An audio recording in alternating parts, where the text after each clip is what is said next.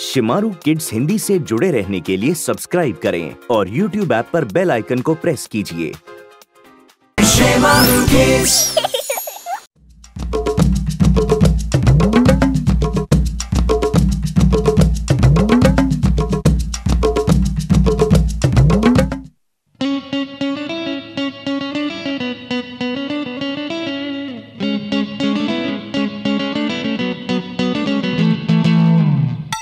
बना आप एक महान राजा हैं। देश विदेश में हर कोई आपकी तारीफ़ करता है। शुक्रिया। आप अपनी सल्तनत का पूरा ध्यान रखते हैं और हर एक को अपने परिवार की तरह मानते हैं। पर पर? पर क्या? क्या मैं किसी को नजरअंदाज कर रहा हूँ? या कोई पराया महसूस कर रहा है? जिस तरह से आप सभी की जरूरतों का ख्याल रखते हैं क्या कभी आपने अपने पूर्वजों के बारे में सोचा है? मेरे पूर्वज मैं उनकी जरूरतों का ख्याल कैसे रख सकता हूँ? अल्लाह उनकी रूह को सुकून दे। वो तो खुदा को प्यारे हो गए। आप ज़रूर उनका ख्याल अच्छी तरह से रख सकते हैं।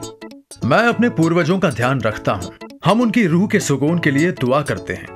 हमने उनकी याद में शाही मकबरे बनाए हैं और उनकी याद में अक्सर इबादत होती है। गुस्ताखी माफ़ जा बना मेरा मकसद आपको परेशान करने का नहीं था। क्या आपने किसी को स्वर्ग भेजा? आपके पूर्वजों की ज़रूरत का पता लगाने के लिए?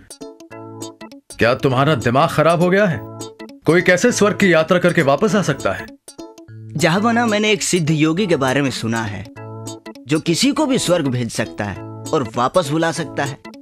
फजीर अब्दुल्ला उनके भक्त हैं। हम उन्हें बुलवाकर इसकी जानकारी ले सकते हैं? ठीक है। तुम वज़ीर अब्दुल्ला से कहो कि कल वो दरबार में योगीराज को बुलाएँ। जैसी आपकी मर्ज़ी जहाँ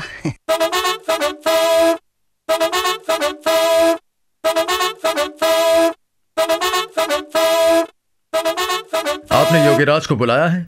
क्या वो यहाँ दरबार में मौजूद हैं?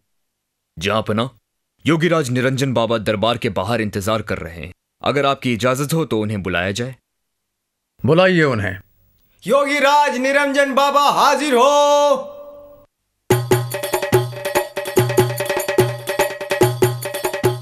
अलोक निरंजन। आपका स्वागत है योगीराज। हमने सुना है कि आप किसी को भी स्वर्ग भेजकर वापस बुला सकते हैं। अलोक निरंजन ईश्वर की लीला परम्पार है। मैं तो एकमात्र भक्त हूँ। अगर कोई स्वर्ग जाकर वापस आना चाहे तो ये अवश्य संभव है। हम जानना चाहते हैं कि हमारे पूर्वजों को स्वर्ग में कोई तकलीफ़ तो नहीं है?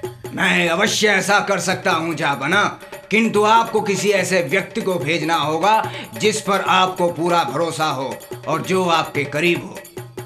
हुजूर आला मेरे ख्याल से बीरबल को स्वर्ग भेजना चाहिए और कोई नहीं जिस पर आप इतना भरोसा करते हैं। फिर वो आपके अज़ीज़ भी है। मुझे यकीन है कि वो आपका हुक्म मानेंगे और स्वर्ग के सुखों की परवाह ना करते हुए वापस भी आएँगे। बीरबल क्या आप हमारे लिए ये यात्रा करेंगे? ज़रूर जहाँ पना आपकी ओर से ये यात्रा करना मैं अपनी खुशकिस्मती समझूँगा।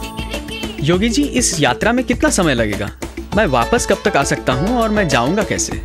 मैं एक पवित्र अग्नि जलाऊँगा और जैसे ही आप उसमें प्रवेश करोगे मैं अपनी दिव्य शक्तियों से स्वर्ग का रास्ता खोल दूँगा। अगर आप चाहो तो दो महीने में वापस आ सकते हैं क्योंकि बहुत कम लोग स्वर्ग का आनंद छोड़कर वापस आते हैं। निरंजन। ये विधि कहाँ होगी योगी जी? वैसे तो इस क्रिया को कहीं भी किया जा सकता है पर हम इसे पवित्र नदी यमुना के तट पर संपन्न करेंगे। जहाँ पना क्योंकि मैं काफ़ी समय तक घर से दूर रहूँगा इसलिए मैं आपसे चार पाँच दिन की मोहलत चाहूँगा। जाने से पहले कुछ काम पूरे करने हैं। ज़रूर बीरबल। योगीराज जी बीरबल पाँच दिन के बाद इस यात्रा के लिए रवाना होंगे। कृपया तैयारियाँ शुरू करें। आदाब जहाँ पना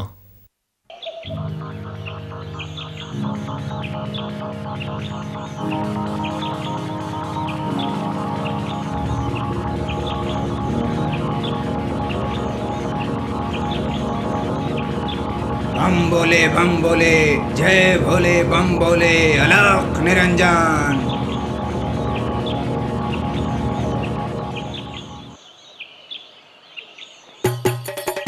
आइए। अलविदा जहाँ पना अलविदा दोस्त जल्दी लौटना। मैं जल्द ही हाजिर हो जाऊँगा जहाँ पना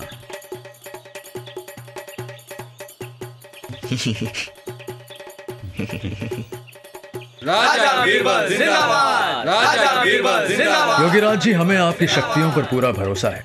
लेकिन क्या आपको यकीन है कि बीरबल पर कोई आँच नहीं आएगी? निश्चिंत रहें जहाँ पना। मैं आज तक अनेक लोगों को स्वर्ग भेज चुका हूँ लेकिन आज तक किसी को कोई परेशानी नहीं हुई। हम माफ़ी चाहते हैं। बम बोले बम बोले अलख निरंजन अलख निरंजन।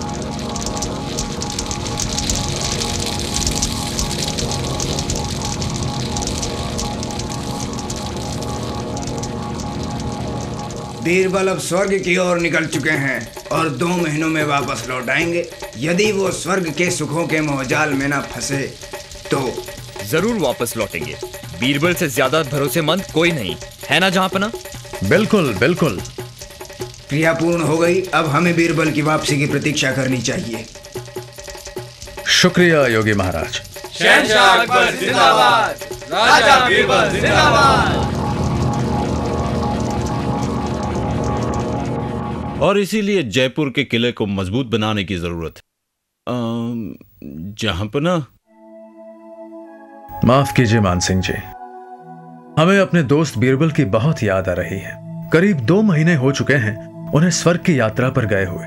योगीराज ने क्या कहा था? मेरे ख्याल से उन्होंने दो महीने कहा था। जी हाँ जहाँ पना पर उन्होंने ये भी कहा था कि ज़्यादातर लोग लौट के नहीं आते क्योंकि उन्हें स्वर्ग के सुख इतने भा जाते हैं। शायद बीरबल ने भी वहीं रहने की ठान ली हो। नहीं बिल्कुल नहीं। मुझे बीरबल पर पूरा भरोसा है। वो लौट कर आएँगे।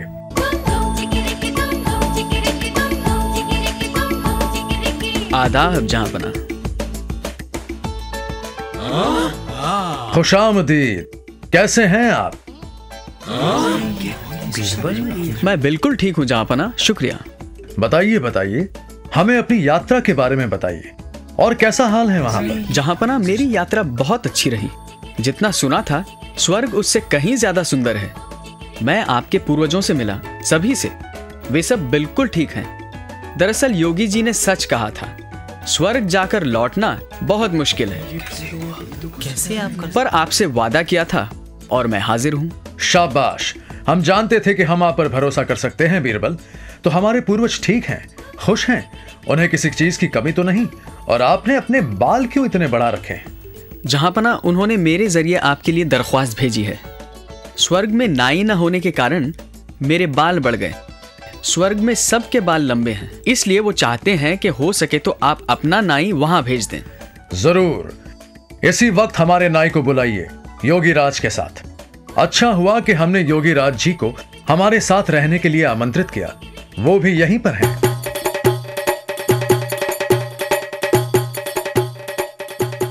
आदाब योगी जी। योगी राज जी यह अच्छा हुआ कि हमारे नाई ने सुझाया कि हम किसी को स्वर्ग भेजें। बीरबल ने अभी अभी हमें बताया है कि हमारे पूर्वजों को नाई की ज़रूरत है। इसीलिए उन्हें स्वर्ग भेजने की तैयारियाँ करें। कल सुबह ही ये काम हो जाना चाहिए। आप दोनों को हमारी ओर से इनाम मिलेगा। हम आप दोनों से बहुत खुश हैं।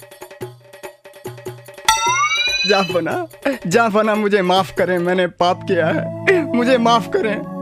ये योगी राज पाखंडी है और ये सब मैंने मंत्री अब्दुल्ला के कहने पर किया। वो बीरबल की शोहरत से जलता है। मैं इतनी जल्दी मरना नहीं चाहता। नहीं नहीं नहीं। मुझ पर रहम करें।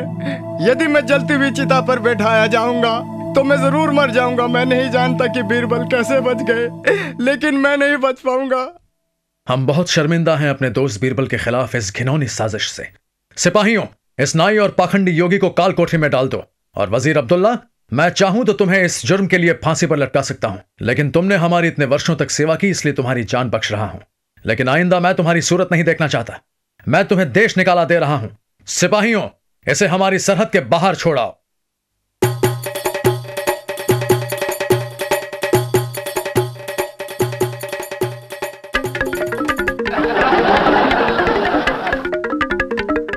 मेरे शातिर दोस्त मुझे बताओ, जो हम सभी जानने के लिए बेचैन हैं। तुम्हें उस साजिश का पता कैसे चला? और तुम जलती हुई आग से बचे कैसे? जहांपना उस दिन जब योगीराज दरबार में पहली दफ़ा आए थे और पवित्र अग्नि जलाकर मुझे स्वर्ग में भेजने की विधि बता रहे थे, तभी मैं समझ गया था कि दाल में कुछ काला है। इसलिए मैंने आपसे पाँच दिनों की मोहलत मांगी, जिनमें मैंने एक सुरंग खुदवाई जो कि उस जगह से शुरू होकर मेरे घर तक जाए। और उस दिन जब मैं चिता पर पहुँचा, मैं बिल्कुल वहाँ खड़ा था जहाँ से सुरंग का गुप्त दरवाज़ा था। और जैसे ही आग लगाई गई, मैंने खुफिया दरवाज़ा खोला, सुरंग में उतरा।